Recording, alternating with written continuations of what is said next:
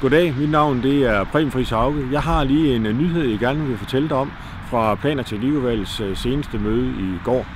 Det er sådan, øh, vi står her mellem Hjertecentret og omfartsvejen, der hedder Søndermarksvej her i Varde Syd. Og det er sådan, at udvalget har modtaget en henvendelse fra firmaet Gravin Projekter, om man vil øh, i gang sætte plangrundlaget for en dagligvarerbutik, et tankanlæg og en vaskehal her i Varde Syd. Og øh, det er faktisk på øh, pladsen lige her bag ved mig, hvor øh, de gerne kunne tænke sig at opføre det.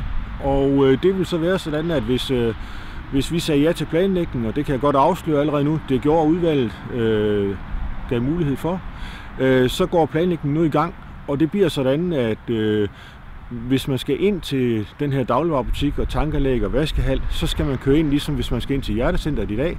Det vil sige ind ad Skadehøjvej, ind ad Hjertensvej.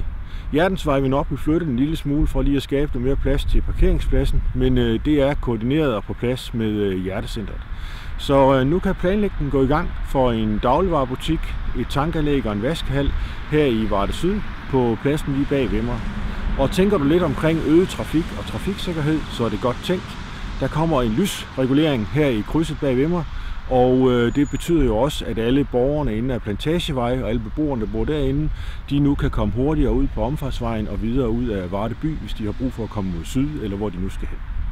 Tak fordi du lyttede, og vil du se mere, så kig på vores øh, dagsorden og referater inde på Varde Kommunes hjemmeside.